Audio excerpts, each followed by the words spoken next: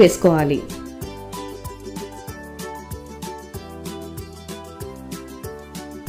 రైస్ని వేసుకొని ఒకసారి బాగా మిక్స్ చేసి ఒక ఉడుకు వచ్చే వరకు ఉడికించుకోవాలి. ఈ టైంలోనే ఉప్పు కారం అనేది ఒకసారి చెక్ చేసుకోవచ్చు. తక్కువ పడినట్లయితే వేసుకోండి.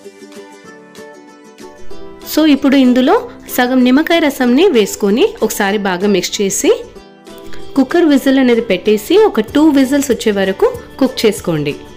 టూ విజిల్స్ తర్వాత కుక్కర్ కింద వేడి చేసిన పెనం పెట్టేసి ఇంకొక రెండు విజిల్స్ వచ్చే వరకు కుక్ చేసుకోండి.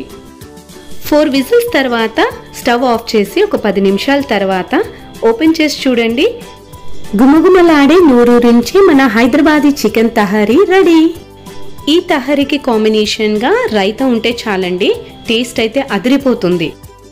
ఈ తహరీ మీరు చికెన్తోనే కాదండి మటన్తో కూడా చేసుకోవచ్చు. టేస్ట్ అయితే చాలా బాగుంటుంది. ఇది చాలా easy and very quick recipe.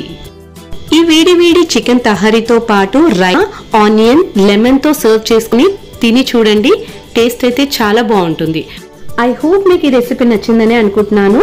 మీరు కూడా ఒకసారి ట్రై చేసి మరి మీకు ఎలా కుదిరిందో నా కమెంట్ బాక్స్లో కమెంట్ చేసి చెప్పండి. ఈ వీడియో కానీ మీకు నచ్చినట్లయితే like share and subscribe to my channel. Thank you for watching. See you in next video. Bye bye.